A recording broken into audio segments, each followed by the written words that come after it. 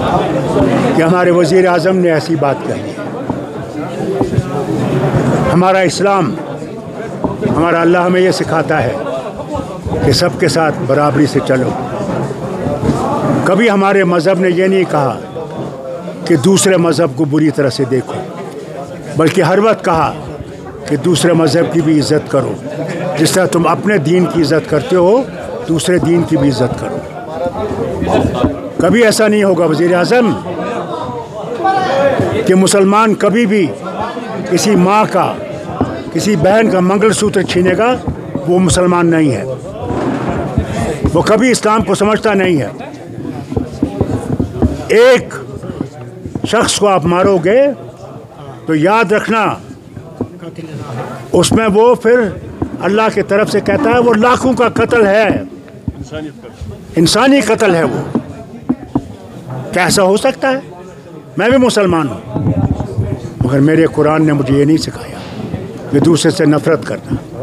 मैं उतना ही हिंदू से मोहब्बत करता हूँ, जितना मैं सिख से, मुसलमान से मोहब्बत करता हूँ। मैं समझता हूँ उसको भी तरक्की करेगा, हम भी तरक्की करेंगे, उसी से ये भारत उठेगा।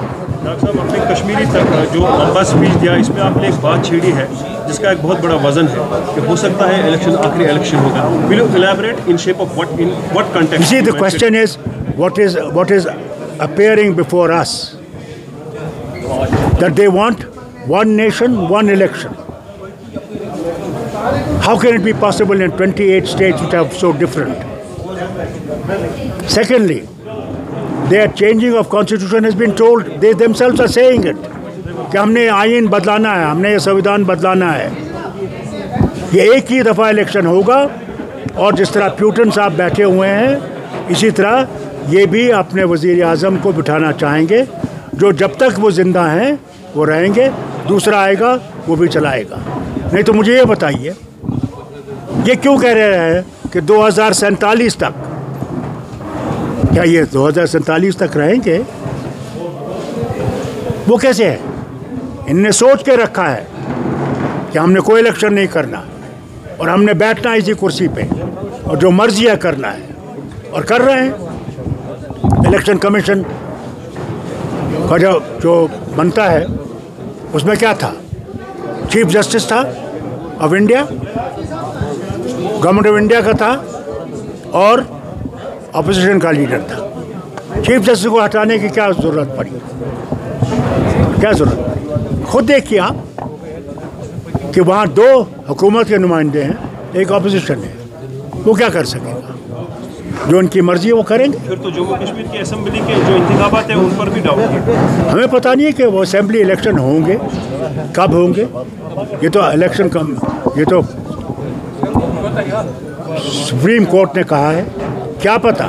अगर ये जीत जाएँगे ये सुप्रीम कोर्ट भी दबा देंगे। कोई पता नहीं। कैंडिडेट नॉर्थ कासम से अनाउंस किया कि सजादुल को ही सपोर्ट करेंगे। इससे पहले दो दिन उमर साहब ने कहा था कि उनको किसी की सपोर्ट की ज़रूरत नहीं है जबकि अल्ताफ बुखारी ने कल मुझे अफसोस इस बात का है। मुझे अफसोस इस बात का है नए चेहरे आने मुझे अफसोस इस बात का है। मैं तीनों से गुजारिश करना चाहता हूँ। वो आज़ाद साहब हों सजाद लोन साहब हों वो अपने बुखारी साहब हों उन्हें ये देखना चाहिए जिनकी तरफ़ से वो खड़े हैं। उनका रवैया क्या है मुसलमानों के लिए? बस मैं इनसे यही कहना चाहता जिन मुसलमानों को ये बरगला रहे हैं आज, क्या वो मुसलमान कल बचेंगे? अगर ये वापस आए, न सिर्फ़ जम्मू कश्मीर के, क्या हिंदुस्तान के मुसलमान की इज़्ज़त रहेगी या नहीं रहेगी? उनसे यह सवाल पूछिए। मुझे अफसोस है।